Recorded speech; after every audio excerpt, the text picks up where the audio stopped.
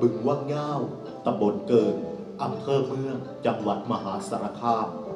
ขอบอกบุญมายังพุทธศาสนิกชนชายไทย ที่เลื่อมใสศรัทธาในพระพุทธศาสนา ต้องการบวชเป็นพระภิกษุหรือสามเณรโดยวิธีประหยัดเรียบง่าย คือต้องตามพระธรรมวินัย เพื่อศึกษาค้นคว้าปฏิบัติขัดเกลากิเลสชำระจิตใจหาทางพ้นทุกข์ตามหลักพุทธศาสนา แต่ขัดสนด้านปัจจัยและทุนทรัพย์ทางวัดบึงวังย่าวโดยหลวงพ่อบุญท่านอัฏฐกาโม ขอแผ่เมตตาซอยเหลือ ให้ท่านได้บวชในพุทธศาสนา โดยรับผิดชอบทุกอย่างทุกขั้นตอน เพียงแต่เตรียมร่างกายและจิตใจให้พร้อม ไปฝากโตกับทางวัดบึงวังย่าวสอบถามโดยตรงได้ที หลวงพ่อบุญท่านอัฏฐกาโม 089 709 3636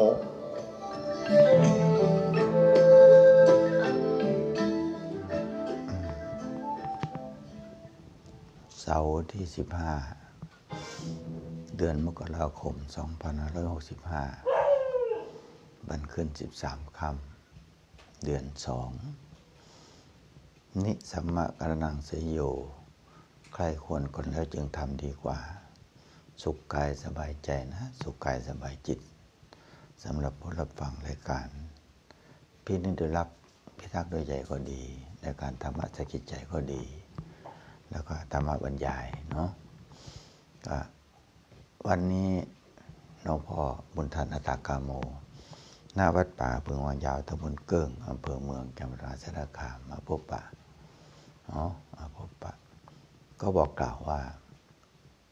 ตอนนี้เวลานี้อืมในการธรรมะสกิจใจ เช้าวันเสาร์เช้าวันเสาร์ทุกวันเสาร์ตีสามถึงตีสี่ทางคืน FM 97.0เมกะเฮิรตซ์อืมแล้วก็รายการธรรมะบรรยายเช่นกัน เสาร์ตอน9โมงเช้า แล้วก็อาทิตย์ด้วยนะทางคืน FM 100.0เมกะเฮิรตซ์คืนร้อยใจของชาวเทศบาล ร้อยใจคนทั่ว ๆ ไปนั่นเนาะรายการธรรมะ มีเสาร์อาทิตย์ เวลา 9 โมง ถึง 10 โมงเช้าและสายมาหน่อยก่อนเที่ยง พี่นิดรักษ์พิทักษ์ด้วยใจอยู่ที่สวทมาสารคามขึ้น FM 106.5เมกะเฮิรต สวทมาสารคามเนาะอืม11โมง ถึงเที่ยงของวันเสาร์ วันนี้ก็เช่นกันแล้วก็ทำไถ่แล้วก็เตือนสติแล้วก็บอกหน่อยนะ ในหลายเรื่อง อุบัติเหตุมีทุกวันทุกวันทำร้ายกัน ก็มีทุกวันมีทุกวันเราก็ต้องเออ ห่างห่างเหินจากธรรมะ ห่างเหินจากวัดจากวาเนาะไม่ได้คุณงามความดีเข้าไปในจิตใจเราด้วยคือหรือทำยังไง หรือคิดยังไงอยู่ ยกพวกตีกัน ทุกวันนี้มัน มันทันสมัยนะเนาะมาผลิตขึ้นมาทันสมัย ปืนผาหน้าไม้ก็ดีแล้วก็ดี อาวุธทั่วๆไปก็ดี ผลิตออกมา จริงๆไม่ได้ผลิตออกมา เพื่อจะทำลายกันนะ จิตใจต่างหาก ที่หากข้ามจิตใจตัวเองไม่ได้โกรธข้ามวันข้ามข้ามคืน โกรธข้ามข้ามวันข้ามปี โกรธกันเกลียดกันจ้องคำจ้องเบนกัน ข้ามปีข้ามข้ามเดือนข้ามปีแล้วข้ามภพข้ามชาติ อันนี้หลวงพ่อว่าโอ้ก็น่าจะ น่าจะคิดได้เนาะกรรมการมีอยู่ทั่วๆไปคำว่ากรรมการคือหมายถึงว่ามีคน ทุกวันนี้ไม่ไม่กล้าเข้าไปเสี่ยงแล้วเนาะอ่ากลัวก็เดินโดนลูกหลงบ้างอะไรบ้าง เข้าไปช่วยผมเพื่อกับบางทีก็เจ็บนะครับ เจ็บด้วยซ้ำไป บางทีมันมีคลิปไม่มีมีคลิปอัดออกมา ตะโกนขอร้อง อย่าทำอย่าทำอะไรลักษณะอย่าทำตอนนั้นมันจะหยุดอยู่เปล่าหลวงพ่อว่าต้องมาฝึกแล้วแหละต้องมาฝึกต้องมาทำสมาธิ มาบวชเนาะมาบวชจะได้หาข้าม หาข้ามทางด้านจิตใจของเราได้ แล้วก็จะมันจะผ่อนเรื่องหนักเป็นเบาได้เพอเพอไม่เกิดปัญหานะมาบวชได้พูดปฏิบัติ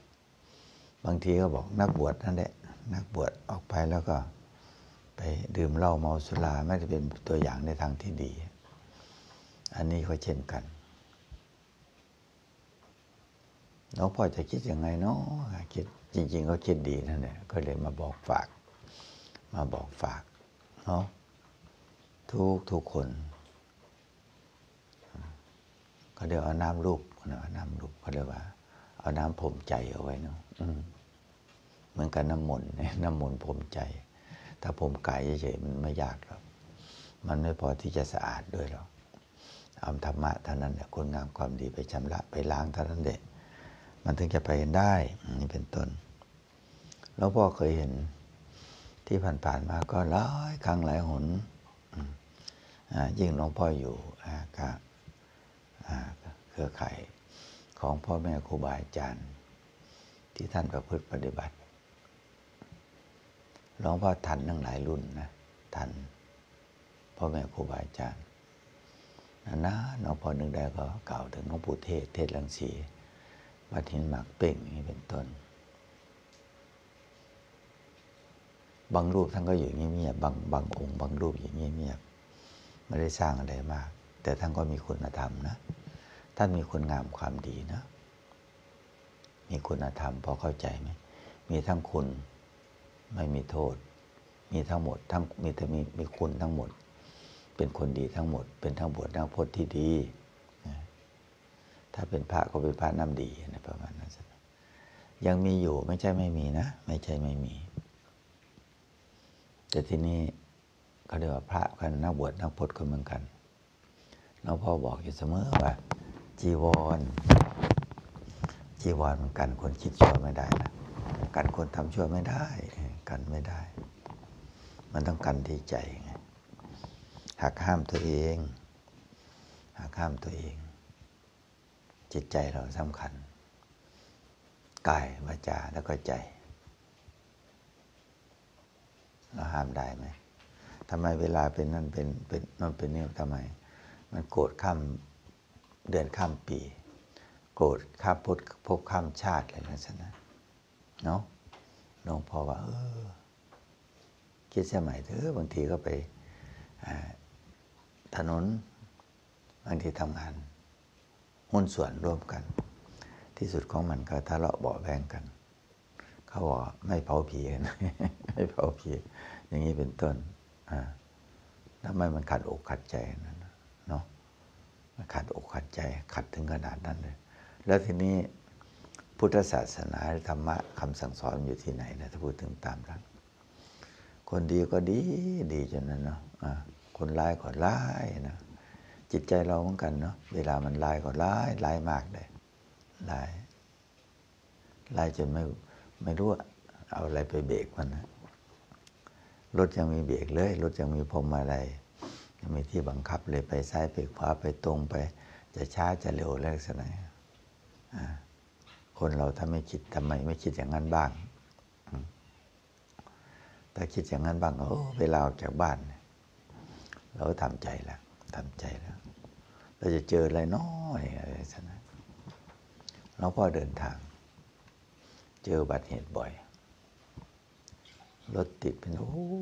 ยาวเหยียดเลยนี่ไปที่ไหนได้ข้างหน้า เวลาผ่านได้ กระจายไปหมดเลย บางทีชนโอ้โหชนกันหกคันบางสิบคันบางสามคันบางอย่างนี้เป็นต้น บางทียังฟังถนนอยู่เลยนั่นแหละหลวงพ่อจะบอกว่า เออการกระทำทุกสิ่งทุกอย่างนะมันอยากเป็นไม่อย่างนั้นไม่ไม่ไม่มีใครอยากเป็นหรอกออกจากบ้านก็อยากไปไปโดยสวัสดิภาพ ถึงจุดหมายปลายทาง เวลากลับมาก็เหมือนกัน ก็อยากไปตลอดปลอดภัยนั่นแหละแต่บางคนไม่ได้ระวัง ขาดการระแวดระวังเสร็จเลยทีนี้ พังเลย พังเลย ชีวิตพังเลยนะ บางคนก็ก็เรียกทุพพลภาพที่ผ่านมาเมื่อวานเนี่ยนะเมื่อวานเป็นวันศุกร์วันนี้ก็เป็นวันเสาร์ หลวงพ่อมีธุระทั้งวันทั้งวันจนตั้งตั้งแต่เช้า ก็โยมก็นัดหลายคน แล้วพ่อเขาวิ่งไปวิ่งมา ไม่ถึงว่านัดที่วัดนะหลายคน อันนี้คือเราให้ฟัง แล้วก็กล่าวถึงกล่าวถึงงาน คนที่ล่วงรับดับไปล่วงรับดับไป คนที่มีชื่อเสียงด้วย ช่วงนี้เนาะช่วงนี้ คุณพ่อแล้วพ่อเคยนั่งคุยกันนั่นนะคุณพ่อไปพจน์เพชรสุพรรณผ่านสกุลนีสกุลนีมีลูกหลายคนแล้วพ่อเคยนั่งคุยกันตอนที่มีชีวิตอยู่ท่านก็เป็นคนลาเริงนะสอนเพชรไม่สอนเพชรด้วยอะไรด้วยช่วงนี้เขากล่าวถึงพ่อเมื่อเช้าเราก่อนที่จะ มาไล่สดหลวงพ่อยังฟังพ่อจันแดนบุรีรัมย์อยู่ก็หลวงพ่อก็รู้จักสนิทเชื่อมากกับพ่อจันแดนบุรีรัมย์มาก ๆ เลยแหละมาก ๆ เลย ท่านเคยมาที่นี่ด้วยนะท่านยกพวกยกทัพมาหลายคนด้วยกัน แล้วก็มากล่าวถึงบางทีอยู่ใกล้ตัวที่หลวงพ่อติดเมื่อวานก็ติด เราเก็บชีวิตให้ให้ฟังนิดหน่อยเนาะหลวงพ่อมาหลวงพ่อไปอยู่ที่บ้านน้องตื่น ถ้าถ้าเป็นปีนะประมาณทักสองปีนะประมาณสองปี มาสารคามใหม่ ๆ ไปพักอยู่ที่นั่น ตอนนี้ก็รุ่นพ่อรุ่นแม่ก็ตายไปแล้วแหละ ตายไปแล้ว ทีนี้รุ่นลูกเนี่ยตายแล้วตายแล้วตระกูลผลลาบนะ ตระกูลผลลาบแล้วเมื่อก่อนเขามีพ่อบุญมีผลลาบอะไรบ้าง เป็นนักจัดรายการชื่อดังนะต้องเข้าใจแล้วพ่อก็วกวนอย่างนี้แหละ ถ้าพูดถึงตามหลักอย่างคุณพ่อพ่อจานพ่อเชียงกำพาพญาย่อยพ่อเชียงกำพาพญาย่อยพ่อคำพ่อเชียงกำพาพญาย่อย ปัจจุบันก็แต่หูไม่ดีแล้วนะอายุพอมากแล้ว ถ้าพูดถึงเราเจอกันเจอกันเกือบทุกวันนั่นเจอกันทุกวัน เป็นตำนานเนี่ยเป็นตำนาน แต่ยังมีเสียงอยู่นะ ทางวิทยุพอบันทึกเสียงไว้บ้างเอแล้วลักษณะเป็นนักจัดรายการนี่เป็นตำนานเนี่ยอีกคนหนึ่งก็นักจัดรายการก็พูดถึงอาจจะไม่เอ่ยชื่อได้ทั่วทั้งหมด กิษดานามเชียงใต้นี่เป็นต้นแล้วก็ หลวงพ่อก็รู้จักนักแต่งหลายคนนะรวมสุดท้ายที่รู้จักกับพระอาจารย์ธงชัยธรรมทโลเป็นนักแต่งจะเป็นนักแต่ง ถ้าพูดถึงความคุ้นเคยก็คุ้นเคยมากๆเลยนะก็มาลำที่ทวีพรลำให้หลวงพ่ออยู่มีมาลำปุเป้ด้วยเลยเดี๋ยวก็ก็ใช่นะใช่ นี่เดี๋ยวคือในส่วนหนึ่งที่ที่หลวงพ่อก็เวลานั้นหลวงพ่อถึงไม่ค่อยว่างนะก็มีคนสอีกคนคนคุ้นเคย อายุมากแล้วแหละคุณพ่อก็ไปแล้วตายแล้ว อยู่คุมทางทางเนื้อทางศาสนามาเดิมเลยนะก็โทรมาบอกหลวงพ่อผมเผาเผาวันจันทร์ แต่ ที่บ้านน้องตื่นเผาวันนี้นะเผาวันนี้ อย่างนี้เป็นต้นหลวงพ่อก็ยังก็ก็ต้องไปอย่างนี้เมื่อคืนก็ไปนั่นไป คุ้นเคย ความคุ้นเคยก็ก็คุ้นเคยมาตั้งแต่พ่อจนยันลูกอะไรประมาณลักษณะแต่เขาทำไมต้องไปก่อน เมื่อจริง ๆ ไม่กี่วันหลวงพ่อเขาคุยเขาอยู่นะยังคุยเล่นกับเขาอยู่เพราะคุ้นเคยไงเขาไปแล้วติ ติถ้าชื่อเขาจิตติผลลาบจิตติผลลาบนะถ้าถ้าชื่อเล่นก็เพี้ยนเพียนๆตีตีไปล้วเมื่อคืนเมื่อคืนน้องพ่อยังโทรบอกกับยายยายพูนก็คุ้นเคยยายยายพัดอย่างเป็นต้นก็คงเจอกันเขาเผาศพเมื่อคืนนี้ ไปร่วมงานเขาจะประมาณสักประมาณสักสิบมั้งประมาณสักสิบรูป แล้วก็เขาเครือข่ายสายงานในสิ่งแวดล้อม สิ่งแวดล้อมแวดล้อมทางน้ำทางอะไรเขาทำงานอยู่กรมป่าไม้ญาติพี่น้องก็หลาย ๆ คน เมื่อคืนนั้นเมื่อคืนนั้นก็ไปไปเป็นประธานเป็นประธานอ้าวก็กล่าวถึงความร่วงรับร่วงรับดับไป เกิดทีหลังเราทำไมไปก่อนอเกิดก่อนเราจะไปก่อนเราอ่าแต่บางเกิดพร้อมเราบางทีก็ไปก่อนเราก็ได้ เป็นไปอย่างนี้แหละ ไปตามภาระตามภาระมันไม่รู้เนาะว่าจะไปวันไหนแต่แน่ๆก็ต้องไปทุกคนนั่นแหละ แต่คนที่อยู่ก็ทำประโยชน์ สร้างประโยชน์ เห็นคุณค่าของตัวเอง แล้วก็เห็นคุณค่าของคนอื่น อย่าไปยัดเยียดอะไรให้คนอื่นนะาทำคุณงามความดีทำแล้วก็ชี้แนะก็บอกกล่าวคนอื่น แต่มันแบ่งปันกันไม่ได้นะต้องเข้าใจนะซื้อไว้ก็ไม่ได้ คนที่เรารักเราใคร่คนที่เรารับรักเราชอบคนที่เคารพนับถือไปทั้งนั้นเลย ซื้อไว้ไม่ได้ ซื้อไว้ไม่ได้ แน่นอนแน่นอน เอาช่วงนี้ก็ตั้งขึ้น FM ธรรมะสะกิดใจเก้าสิบเจ็ดจุดศูนย์ศูนย์เมกะเฮิรตซ์เอ็มเก้าสิบเจ็ดก็ซ่อมไปนิดหน่อยซ่อมไปนิดหน่อย โยมแม่กลคงติดตามอยู่เนาะทางบรรณานกเขียนด้วยทาง บรรษาแก้วด้วย ทุกวันนั้นทันสมัยเนาะดูดูได้ดูได้ด้วย เห็นภาพหลวงพ่อด้วยอะไรด้วยอย่างเงี้ยเรื่องอืด้วยความเป็นนั่นนะขอบใจทุกๆคนที่ว่า ถามหลวงพ่อหลวงพ่อปกติดีอย่างหมายถึงว่าเรื่องจามเรื่องไอเรื่องอาอากาศมันเปลี่ยนนะเนาะก็ก็ดีขึ้นนะแหละแต่หลวงพ่อก็ต้องระวัง ระวังเรื่องน้ำเย็นบางอะไรบางระวังบางอย่าง ถ้าสมมติเรา นั่งเข้าไปมันก็มีมันก็มีคันคันคออยู่บ้างนะน้ำหวานมันมาลักษณะน้ำหวานถ้าหวานมากอะไรลักษณะอันนี้คือมันเป็นผลกระทบที่มัน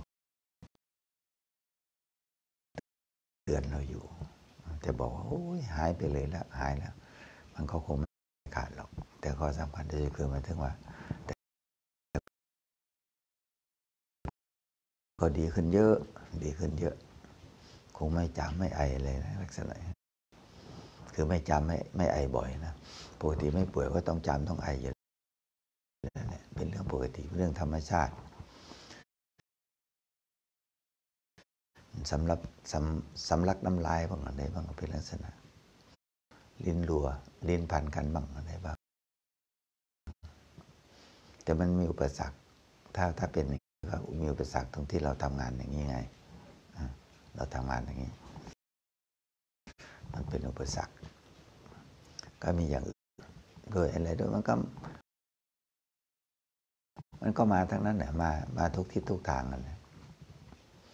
เจ็บหัวปวดท้อง เจ็บแข้งปวดขาอะไรลักษณะอ่า เราต้องเราต้องรู้เท่าทันความจริงแล้วก็ยอมรับความจริงให้ได้ในลักษณะยอมรับความจริงให้ได้ ความจริงก็คือความจริงนั่นแหละ ไม่แปรเปลี่ยนไปอย่างอื่นหรอกเหมือนกับเราทำดีอะคงไม่แปรเปลี่ยนได้รับความชั่วหรอกแต่เราทำชั่วมากๆเพื่อมาทำดีก็อยากจะได้เลยเนี่ยมัน ก็ไม่ใช่ มันก็เวลาทำโน่นทำนี่ แล้วปลูกต้นไม้บางทีโอ้ยบางประเภท ไม่รู้กี่ปีก็จะได้ผลใช่ไหมปลูกข้าวเช่นกัน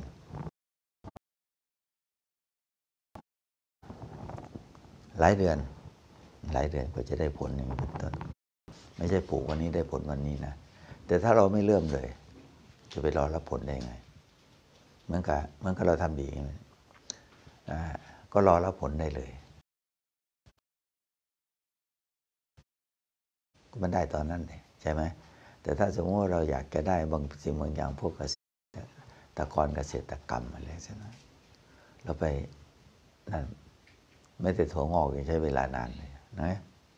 ถั่วงอกยังใช้เวลานานเลยต้นไม้บางต้น ไม้ยืนต้นไม้ล้มลุกไม้อะไรนะต้องมาทำความเข้าใจแล้วทีนี้เราต้องดูแลรักษาดูดิ ปลูกข้าวก็ต้องดูดูแล เอาใจใส่ปลูกปลูกนู่นปลูกนี่ทำนู่นทำนี่ จะไปเลี้ยงหลวงพ่อไม่อย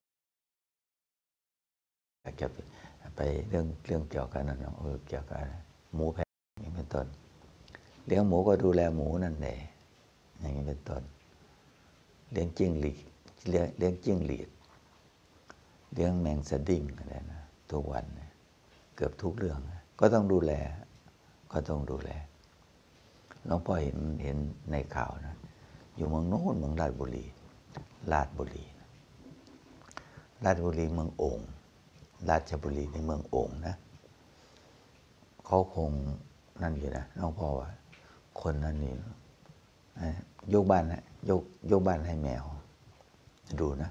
น้องพ่อว่าน่าเชื่นชมนะยกบ้านให้แมว อายุยังไม่มากนะยกบ้านให้แมว ก็หมายถึงว่าให้แมวอยู่อาศัย ก็ดูแลนั่นนะมีคอนโดแมวอืมดูดีมันดีไปทิ้งที่ไหนอ่าดูแลเอาใจใส่ อย่างนี้เป็นต้น อยู่ที่เมืองราชบุรีราชบุรีนะเมืองโอ่งมังกรนะ ติดตามด้วย หลวงพ่อยังชื่นชมเขาอยู่เลย แต่อีภาพอีภาพหนึ่งบันก่อนก่อนนะไม่ไม่น่าดูเลยคือ หมาจรจัดมันเยอะเนาะเวลาไปตามตอกตามซอยไปบ้านเขานอนอยู่กลางถนนนั่นแหละไม่รู้หลวงพ่อไม่มั่นใจว่าเขาชอบนอนเพราะอะไรขับรถไปก็ไม่ได้ไปขับไปเร็วเท่าไหร่นะ แต่มันกล้องวงจรปิด อันนี้ก็โอ้เขาลุกไปทัน อีกตัวนึงยังลุกมาเหยียบจังๆเลย เหยียบจังๆ ไม่ได้วิ่งมาเร็วนะ ตามตอกตามซอย เหยียบบาดเจ็บสาหัส สุดท้ายเขาตายแล้ว สุดท้ายตายแล้วอย่างนี้เป็นต้นทำไมมันคนละคู่อะทำไมมันคนละอย่างทำไมวิธีคิดทำไมมันต่างกันตรงนั้นนั่นเองน้องเพราะว่าคนนั้นก็มีศีลมีธรรมแล้วมีจิตเมตตา เห็นชีวิตเขาเหมือนกับชีวิตเราสัตว์ทุกตนทุกตัวเกิดขึ้นมาในโลกนี้ต้องการความสุข ต้องการความสบาย ต้องการเอาใจใส่ดูแล เหมือนกับผู้ใหญ่ดูแลเด็กอะไรประมาณนั้นมาพ่อแม่ดูแลเรามาตั้งแต่ต้น แล้วหลวงพ่อไม่มีพ่อดูแลทำไง ก็โตมาโตมาโตมาพ่อใครโตมาพ่อแม่อะไรอย่างนี้เป็นต้นหลวงพ่อได้ยินศัพท์ใหม่ๆว่าพ่อเลี้ยงเดี่ยว แม่เลี้ยงเดี่ยวทุกวันนี้พ่อเลี้ยงเดี่ยว แม่เลี้ยงเดี่ยว ก็ได้ยินหลังๆนี้เนาะได้ยินหลวงพ่อฟังสัพภาษาอะไรลักษณะ แต่วันหลวงพ่อเก็บเอามาเล่าให้ฟัง คนมีจิตเมตตาอย่างนี้เป็นต้น แล้วก็อีกก่อนๆหน้านั้นนะได้สดขอแมวไปเลี้ยงขอหมาไปเลี้ยง แต่เอาไปทำลายดูนะต่างกันไหมล่ะอีกคนหนึ่งมาลุกไม่ลุกขับรถไป สองตัวมันลูกได้แล้ว มันหลบได้ อีกตัวหนึ่งนู้นอาจจะง่วงนอน ขี้เสาเปล่าเหยียบ อีกคนหนึ่งเหมือนกับเสแสร้งเอามาไป เอาแมวไป ขอมาขอแมว เวลาสารภาพมา รู้ไหมทะเลาะกับเมียไปลงหมาลงแมวมาลักษณะนี้ แล้วเพราะว่าโดยปกติจิตในของคนเนี่ยมันมันตีความเข้าข้างตัวเองนะ ต้องต้องระวังนี่เป็นต้น เมื่อวานหลวงพ่อเห็นลูกหลานนี่ก็คงไม่ต้องเอ่ยนามเขาเนาะน่าคิด ก็วัยรุ่นนั่นแหละรู้จัก รู้จักกับหลวงพ่ออยู่ อันนี้เกียรติชีวิตเขาคงก็ควรเล่าให้ฟังก็ไปเล่าให้จบตรงที่แบบคนที่มอบคอนโดมอบบ้านให้ให้แมวเนาะไม่ใช่ตัวเดียวนะ หลายตัวเลย แล้วมาเจอวัยรุ่น เมื่อวานนี้หลวงพ่อเจอมา ก็คุ้นเคยเขาเขาจอดรถจอดรถจริงๆหลวงพ่อไปบินนาบาตนั่นเนี่ยเขาจอดรถก็ก็ทำทีมันจะมาใส่บาตร ดี๋ยวเขาก็ใส่บาตรนั่นแหละถ้าพูดถึงตามหลังรู้จักเขามานาน โดนใครทำลายมา ตาปูดตาบวมหมดเลยเนี่ยอย่างนี้เป็นต้นไง แล้วพอถึงว่ามันเลี้ยงกันด้วยเขาเรียกว่าหลวงพ่ออนุญาตใช้คำว่า มันเลี้ยงกันด้วยแข่ง เลี้ยงกันแบบไหนลักษณะนี้ด้วยกันเนี่ย ตาปุดตาโปมตาปุดตาบวมหมดอะไรลักษณะนี้แล้วเพราะว่ามันไม่ใช่มีเฉพาะในข่าวนะเฉยๆที่ไม่ออกข่าวคงทั้งเยอะแยะไปหมดแล้วพอมันที่สุดของมันมันก็ไม่มีที่ไปนั่นนะก็เลยอยู่อย่างนั้นนะอยู่อย่างนั้น อยู่ไปอยู่มา ทนไม่ไหว ทนไม่ไหว อย่างนี้ยหลวงพ่อก็ยืนคุยอยู่ตั้งนานหลวงพ่อยืนคุยตั้งนาน เช่นเช่นนี้เป็นต้นไง น่าคิดไหมล่ะ น่าคิด จิตใจไปไหน จิตใจความเป็นมนุษย์ จิตใจของความเป็นคนมันไปไหนทำไมมันเป็นอย่างนี้หลวงพ่อมันเป็นกรรมไหม มัน ร้ายนะ คนอย่างนี้หลวงพ่อต้องบอกจิตใจเวลามันมันมันร้ายยิ่งกว่าเปรตยิ่งกว่ามารยิ่งกว่าโอ้ตั้งเยอะๆจิตใจมันร้ายเป็นร้ายบ่อยๆดิลำบากกันไหมมันร้ายมันตั้งแต่เกิดนะจะมาทำดีแป๊บหนึ่งก็อยากได้ดีแล้ว ก็มันก็หลวงพ่อปลูกต้นไม้ ปลูกหวังผล ปลูกแล้วก็ต้องดูแล จิตใจก็เหมือนกันการกระทำก็เหมือนกัน ก็ต้องดูแลเป็นต้นหลวงพ่อถึงว่าโอ้บางสิ่งบางอย่างเนาะหลวงพ่อถึงอยากขอบใจอยู่ในหลายคน อย่างยกตัวอย่างที่ง่ายๆนะหลวงพ่อก็ จริงๆก็ไม่อยากพูดออกอากาศหรอกคือมันก็ธรรมดา อย่างคนที่เอาเอารถมาให้เอง เอารถมาให้ ก็มีอยู่บ่อย มีอยู่บ่อยๆ แต่ก็ รถเก่า รถเก่า ไม่ไม่ใช่วิ่งไม่ได้นะวิ่งได้เลยรถเก่า คืออยากเปลี่ยนคันใหม่ ก็เลยเอามาเหมือนกับเอามาให้วัดอะไรประมาณนั้นแล้วพ่อว่าก็คิดดีอยู่นะคิดดีอยู่คือหลวงพ่อก็หลวงพ่ออยู่กับรถ อะไรลักษณะอย่างนี้ แล้วทีนี้หลายๆสิ่งหลายอย่าง ไม่ใช่เฉพาะรถนะ กับข้าวขนม มีทุกวันเขาเรียกว่าอาหารบิณฑบาตบางทีเขาหนึ่งให้เข้าหนึ่งยังไม่พอนะให้เข้าอ่าเขาเรียกว่าเข้าสารโดยอะไรลักษณะเช่นนี้เป็นต้น เมื่อวานนี้ก็คงกล่าวถึงโยม พ่อโรงเรียนพิเศษยกทีมาหาหลวงพ่อ ตอนแรกมาไม่ได้นัด ไม่เจอหลวงพ่อ มาอีกรอบสอง เมื่อวานหลวงพ่อถึงทั้งวันเมื่อวานทั้งวัน ก็มีโยมอีกคนหนึ่งแล้วกล่าถึงก็เคยประจำอยู่ที่ลำพูนตอนนี้ก็เกษียณแล้วกลับมาที่สารคามหลวงพ่อเคยอยู่ลำพูน โยมก็เป็นตำรวจก็อยู่ลำพูนนั่นแหละกลับมาบ้าน ก็มานิมนต์หลวงพ่อ นี่คือในส่วนหนึ่งที่กล่าวถึงหลวงพ่อกล่าวถึงหลวงพ่อคนหนึ่งแต่ท่านก็ไปแล้ว ไปเป็นผู้ว่าที่ลำพูน เป็นคนที่ว่าปีปทุมนี่นะสารคามน่าจะมีคนเดียวนะมั้งที่เป็นทที่เป็นผู้ว่า จากรองผู้ว่าไปขึ้น เป็นผู้ว่าที่ลำพูนหลวงพ่อก็จำมันสายที่นั่นพอดี ที่หลวงพ่ออยู่มันเป็นสถานที่ท่องเที่ยว เหมือนมันก็มีที่ท่องเที่ยว แต่เราอาศัยอยู่ป่าช้าข้างล่าง แต่มันมีถ้ำเขาเรียกถ้ำป่าไผ่ถ้ำดอยโตน หรือถ้ำเจ้าแม่จามเทวีเป็นต้นสลับซับซ้อนหลวงพ่ออยู่ที่นั่น ผู้ว่าตอนนั้นผู้ว่าหลวงพ่อยังจำชื่อท่านได้อีกคนหนึ่งอีกคนหนึ่งชื่อ จริญญาพึ่งแสงนะไม่รู้ท่านไปไหมแต่ถ้าคุณพ่อปฐมศิริมาลาเนี่ยเป็นคนพระพีปฐมทุกวันนี้หลวงพ่อก็ก็เจอลูกเขยนะ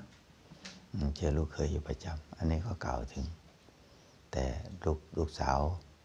ลูกสาวไปแล้ว ไปก็ตามพ่อไปแล้วเดี๋ยวแต่ลูกเขยก็ทำบุญสังฆทานกับหลวงพ่อ บางทีก็สังฆทานนี่ตามสายบิณฑบาตนะ นี่ก็กล่าว อันนี้ก็กล่าวถึงบุญคุณคนที่ให้มาเนาะน้องพ่อว่าโอ้ทำคุณงามความดีมันคุ้มทำคุณงามความดีมันคุ้มค่าข้าวทำคุณงามความดีคิดแบบดีๆให้มันคุ้มค่า เครื่องนุ่งห่ม ให้มันคุ้มค่าเสนาสนะนี่เป็นต้นเหมือนกับที่หลวงพ่อบอกหลวงพ่อบอกโยมเคยมาก็มานี่ หลวงพ่อเดี๋ยวตรงนั้นเป็นห้องส่งแล้วหลวงพ่อเป็นห้องส่งเป็นห้องไร้สุดก็เขียนเลยเขียนเลย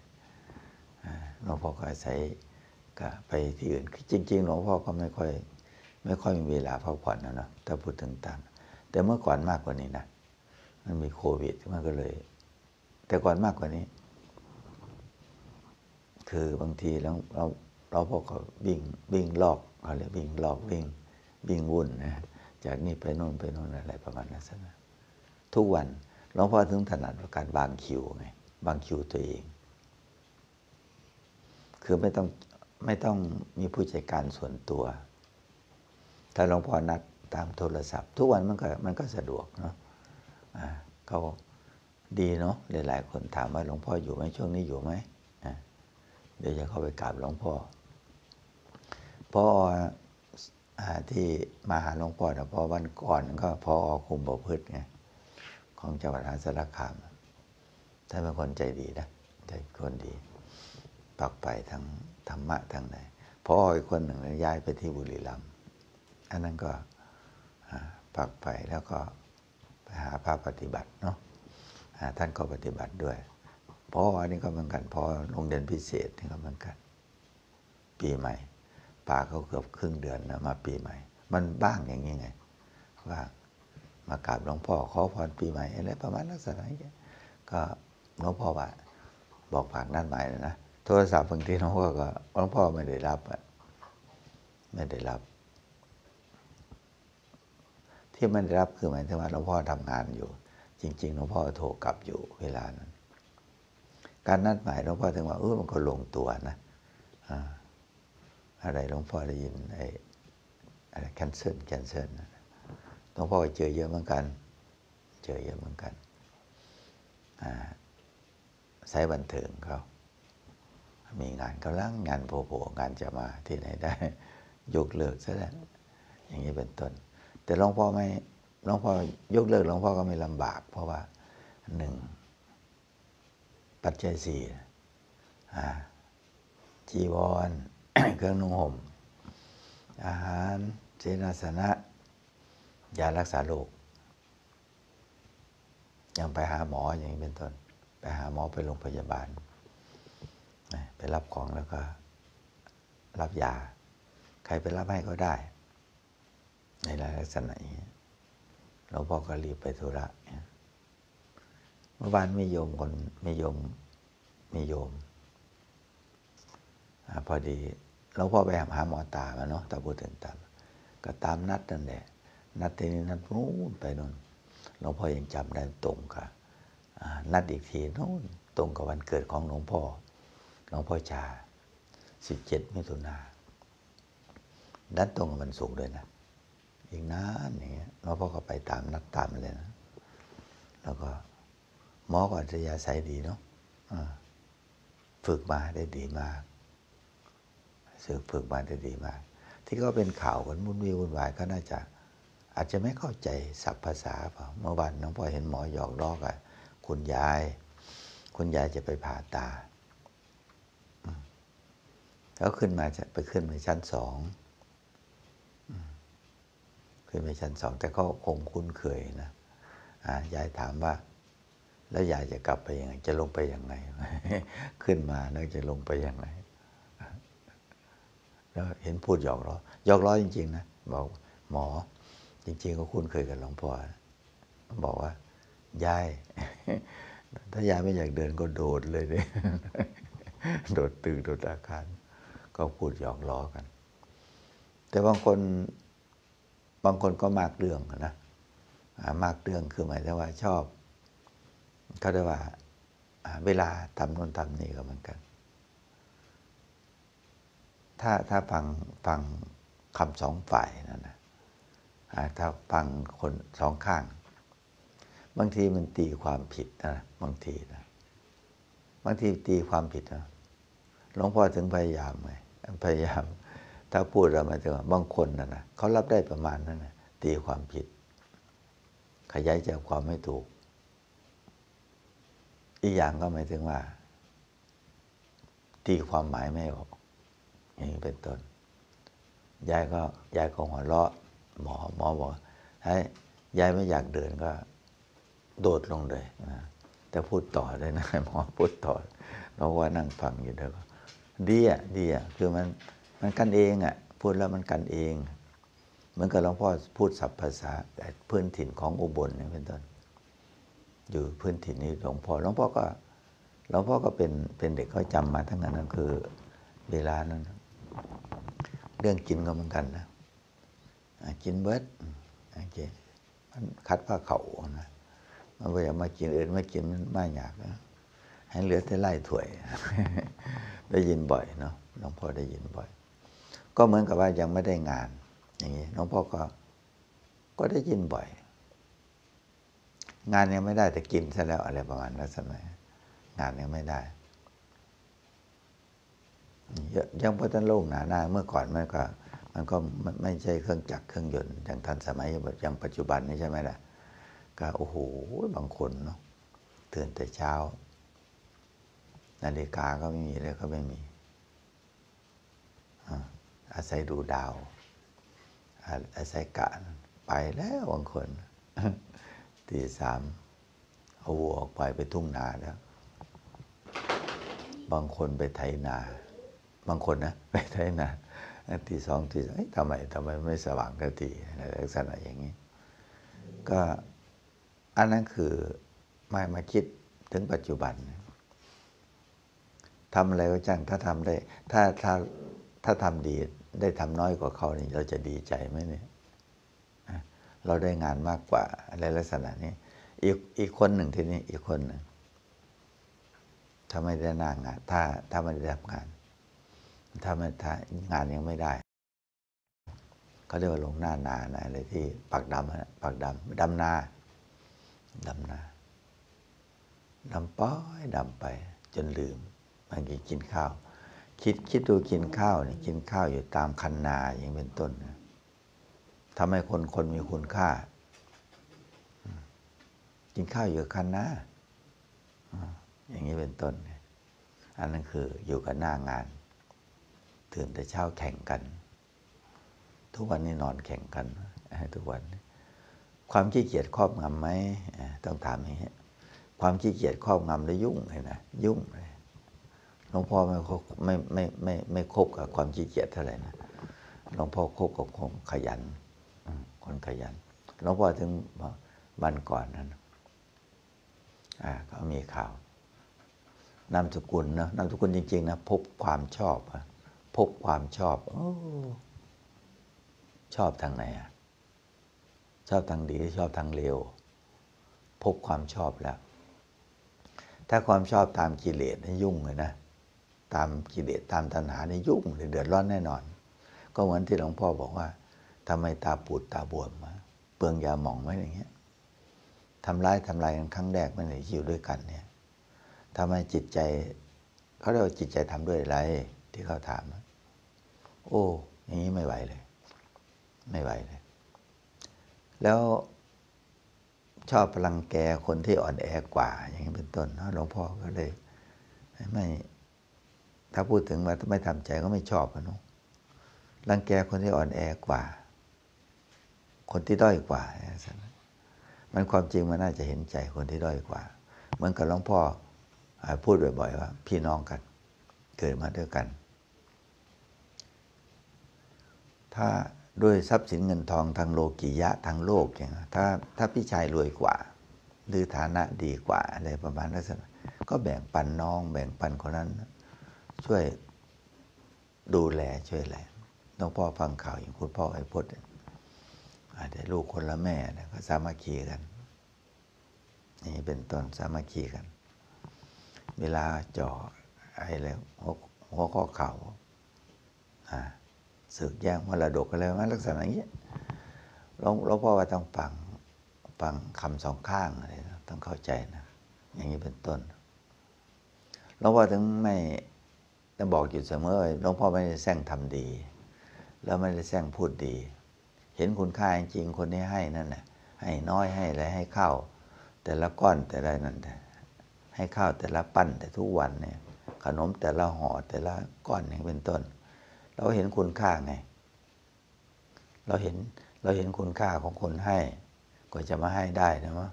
เนาะอย่างนี้เป็นต้น แล้วแย่งออกจากที่อื่นมา มาไม่ละเขาบอกทำบุญนะเขาถึงบอกว่าทำให้พอดีอย่าไปทำบุญนอนหน้านะการทำบุญเนี่ยมันจะเป็นลักษณะ คนที่เขามีเงินร้อยเงินล้านเขาก็ทำได้ใช่ไหม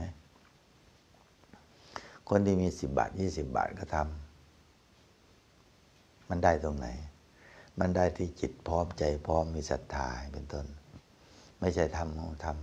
ำทำเพื่อทำลายความรู้สึกของคนอื่น มันก็ไม่ใช่นะเรามีมากกว่าทำอีกคนมาทำมากกว่า แข่งกันทำบุญไหมเนี่ย แต่มันเดี๋ยวจากจิตใจไหมถ้ามันจิตจากจิตใจคนทำบุญเป็นล้าน มันก็ได้บุญเยอะอยู่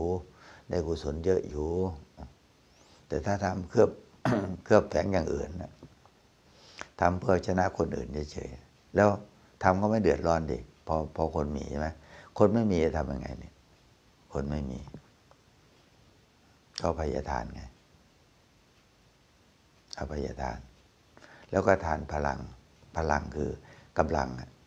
กำลังยกโน่นยกนี่ทำโน่นทำนี่ยกยกตัวอย่าง เช่นนี้เป็นต้น ไม่ใช่ทานทานทานทาน ทรัพย์สินเงินทองอย่างเดียว แต่เขามีทรัพย์สินเงินทองเขาเงินมาปัจจัยมาอะไรแล้วเขาก็เอื้อกับอย่างอื่น อาจจะได้เผื่อแผ่กับคนอื่น คนที่ยากจนกว่าอะไรสักนะคำว่าเป็นสังฆลี แต่ก่อนน้องพอได้ยินสังฆลีขี้มาเลยนกตกคมอะไรตกคมขี่สังฆลีตายหาว่าจันว่าน้องพ่อน้องพอดีมาตลอด สังฆลีขีมาไรนก แต่ถ้าศัพท์ภาษาจริงเป็นสังฆลีคือเป็นผู้รับใช้สงฆ์ไงผู้รับใช้สงฆ์ท่านเก่าถึงว่าไม่ใช่รับใช้เฉพาะเอื้อประโยชน์ แก่ตัวเอง อย่างนี้เป็นต้น ถ้าเรานักศึกษาอยู่ในเกียรติเห็นแก่ตัวไหมล่ะ ถ้าเห็นแก่ตัวได้ยุ่งเลยนะ ยุ่งเลยหลวงพ่อถึงได้บอกฝากว่า ตอนนี้รายการธรรมะสิกิจกิจใจ แล้วหลวงพ่อเรื่องบวชก็เหมือนกัน เรื่องบวชก็มีคนติดต่อมาเหมือนกัน ต้องดูความพร้อมมันนะถ้าไม่พร้อมก็ความพร้อมทางด้านจิตใจนะพร้อมที่จะนั้นไหมหรือบังคับกันมาขาดแคลนทุนทรัพย์ ก็ประสานงานกับหลวงพ่อได้นะประสานงาน ถ้าถ้าเราทำดีมีคนเกื้อหนุนอย่างยกตัวอย่างเนี้ยหลายๆที่ก็ส่งพระไตรพระไตรให้หลวงพ่อ เวลาหลวงพ่อไปคุ้นเคยดีจะหลวงพ่อ ได้ยินมาหลวงพ่อบวชพระก็มีคนฝากมาทำบุญอะไรลักษณะพระไตรนะพูดถึงนะอย่างนี้เป็นต้นหลวงพ่อก็พออยู่ได้อาศัยเพื่อนพ่อสาธรรมิกอะไรลักษณะอย่างนี้คนที่คุ้นเคยเป็นรุ่นพี่แล้วบ้างเป็นรุ่นน้องแล้วบ้าง แม้แต่หลวงพ่อที่ท่าน อายุพรรษาว่าหลวงพ่อไปทูลทั้งมองสามสิบเป็นต้นแล้วก็ถามว่าอาจารย์นั้นบวชนะ บวชพระท่านก็ฝาก บางทีก็เป็นกองบวชด้วยซ้ำไป บางทีทั้งไตจีวรทั้งบาทนั่นเองอย่างนี้เป็นต้นเนาะหลวงพ่อคิดถึงบุญคุณของพ่อแม่ครูบาอาจารย์บุญคุณของผู้มีพระคุณทั้งหมดทั้งมวลก็เลยมานั่งเล่าให้ฟังนี่เองก็จะเลยไปตอบบุญแทนคุณนะ ถ้าสมมติว่าทำมาทำบุญกับหลวงพ่อ หลวงพ่อต้องไปช่วยทำนาเออถ้ามาทำบุญกับหลวงพ่อ ถ้าเปิดอู่ซ่อมหลวงพ่อต้องไปซ่อมรถหลวงพ่อต้องอาศัยพวกมา คนที่มีจิตใจอย่างนี้เอื้อเฟื้อเผื่อแผ่อย่างนั้นเลยหลวงพ่อก็อยู่ได้ ถ้ามันมีมากหน่อยหลวงพ่อแจกแบ่งไปตามนั้นเลยนะท้ายที่สุดเนาะท้ายที่สุดสำหรับวันนี้เนาะทำคุณงามความดีกันนะอย่าไปผัดวันประกันพรุ่งนะ ตอนนี้ก็กลางเดือนนะมกราแล้วเห็นไหมนะไม่อย่าไปผัดวันประกันพรุ่งทำดีทุกคนคุณงามความดีคุ้มครองเนาะท้ายที่สุดสำหรับเช้านี้สาธุ สาธุ สาธุ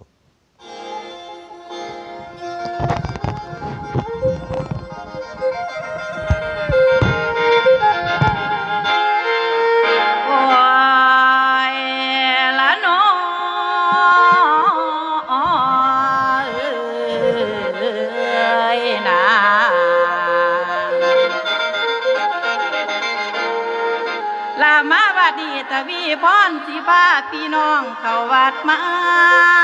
หาหลวงปู่นอแวนอ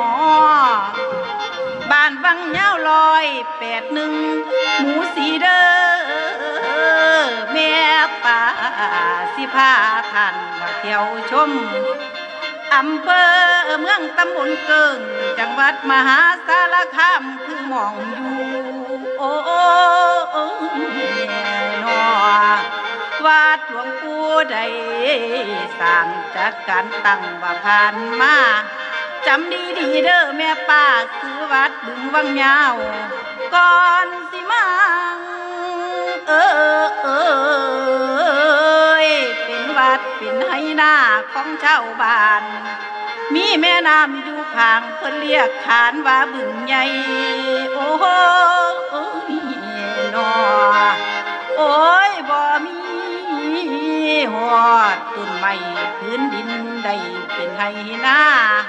แม่คู่คุณเด้อแม่ป้ามีมนมาแลกเริ่มก่อน ผู้ได้มาพบพ่อคือบุญนั้นเป็นแบ่งทางคือจังมีสายน้ำชะลมใจให้โสมสื่น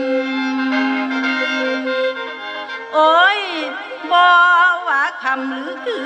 น เดินจงกรมสวดมันพุทโธตั้งจังเม่นดี หรือแม่นข้างก้อนกี่มองที่เคยมีวัดน้อแม่นอจังได้มีความหักหักขึ้นแผ่นดินนี้ในหัวใจถือมั่นหลวงปู่คุณท่านได้สร้างกองสร้างถวายคุณพ่อองค์พระพุทธเจ้าของเฮานั้นได้ดินดี สร้างถวายวัดนี้เพื่อเผยแผ่ธรรมะเทศนาโน